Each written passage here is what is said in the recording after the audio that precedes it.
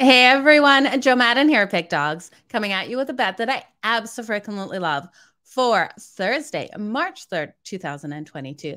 Now, for this one, I am turning back to the NHL to try to put you guys on another winner, and I'm looking at the matchup between the Montreal Canadiens and the Calgary Flames.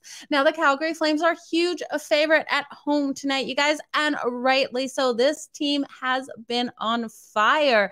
They're minus 417 on that money line right now. Montreal Canadiens, if you have faith in them pulling off the upset, is plus 349. Now, while I do not think the Montreal Canadiens can pull off the upset in this one, we have to look at the Calgary Flames being in a look ahead situation. They have the Colorado Avalanche up on deck on Saturday. Now, I know there's a couple days in between this, but I don't think the Calgary Flames will wear themselves out in this game against Montreal Canadiens. Do I think they get the win? Yes. But am I willing to take them on the puck line?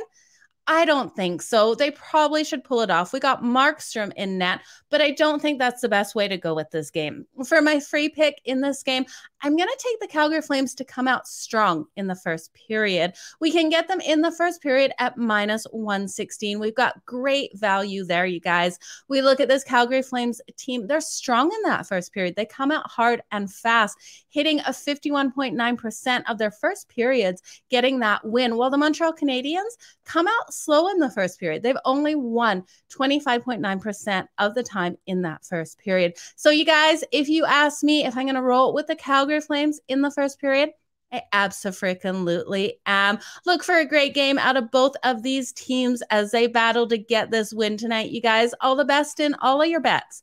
If you want my best bets, head on over to pickdawgz.com, hit on that premium tab. Have a great day. Keep smiling, and you know the drill. Let's make some freaking money.